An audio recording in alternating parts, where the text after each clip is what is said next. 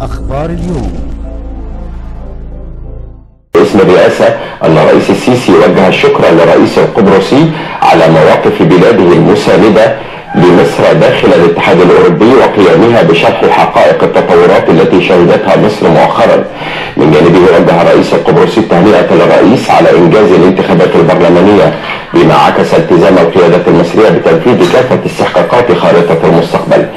وأشاد الرئيس القبرصي بالسعادة مصر لموقعها الرياضي على الساحة الدولية وتزايد التقدير الدولي للمواقف والرؤى المصرية إزاء القضايا المختلفة مشيرا إلى أن المجتمع الدولي يتطلع إلى عضوية مصر في مجلس الأمن كعامل رئيس لتعزيز التعاون الدولي من أجل إرساء دعائم الأمن والاستقرار على المستويين الإقليمي والدولي.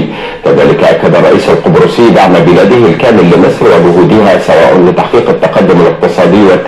الشاملة أو في إطار مكافحة الإرهاب وإرساء الاستقرار في المنطقة مشيرا إلى تطلع بلاده لتعزيز